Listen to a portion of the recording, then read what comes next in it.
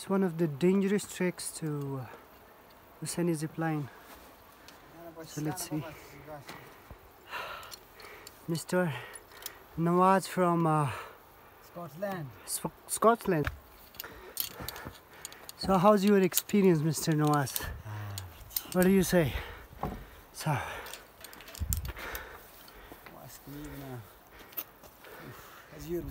he's speaking a Dutch language. I don't know what he says.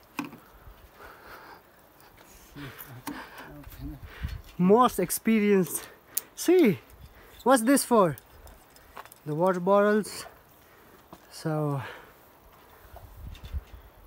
whoa.